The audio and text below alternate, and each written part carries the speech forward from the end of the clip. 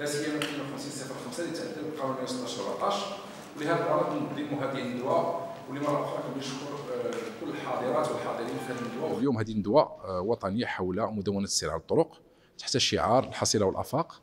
آه لماذا خسرنا هذا الشعار؟ ولماذا تنظيم هذه الندوه في هذا الوقت بالذات؟ اولا الشعار آه عنده دلالة ديالو. الدلالة الأولى أن اليوم مدونة السير دخلت العقد الثاني ديالها من التنفيذ لا من خلال القانون 52 05 ولا كذلك من خلال القانون 116 14 ونحن مقبلين كمهنيين ديال النقل الطرقي بطبيعة الحال على تعديلات على هذا القانون هذا لأن كاين عدة مستجدات آه، ظهرت في الأونة الأخيرة في السنوات الأخيرة ولابد أن هذا النقاش يكون نقاش مؤسساتي اولا بين الجهات المخول لها تنفيذ وتطبيق مدونة السير على الطرق وكذلك بين الفاعلين المهنيين والخبراء وكل الجهات المتدخلة في هذا القطاع من أجل الخروج بتوصيات يمكن تضمينها وإرسالها للجهات الوصية على أساس أن تتخذ بعين الاعتبار في إطار التعديلات التي تعتزم وزارة النقل واللوجستيك القيام بها على قانون السير آه، قانون مدونة السير 116 14 وهي رسالة لكل مستعملي الطريق ماشي للمواطنين لأن الاحترام ديال كل القوانين هو هو يعني فضيلة. يعني اليوم كنشوفوا ما يقع في الطرقات.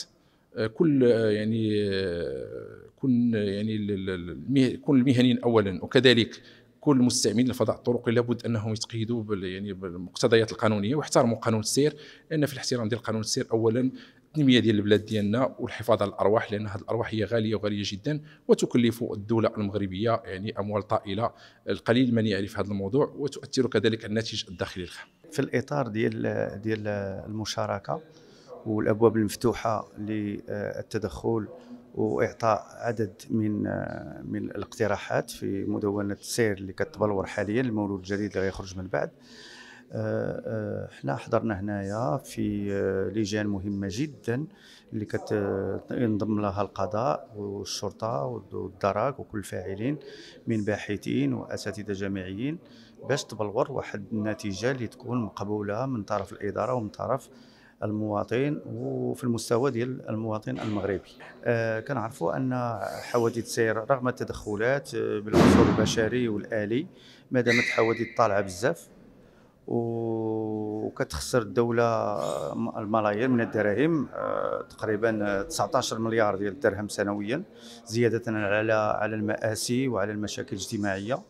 اللي كتدفع الثمن ديال البلاد الصناديق الوطنية وكذلك المواطن المغربي أو الضيوف ببلادنا. لذلك لا بد ما المواطنين والمهنيين وكيف من جميع الشرائح باش يديروا يد في يد وكذلك باش يتنظم حتى آه، الشق المهني من النقل بشتى أنواعه على الطرق العمومية لاحترام البنيه التحتية اللي هي بدات كتقاس آه، بعدم وجود قانون اللي هو آه، موازي للعولمة وموازي لكل ما هو جديد على الطريق العمومي. هناك كذلك مخالفات أخرى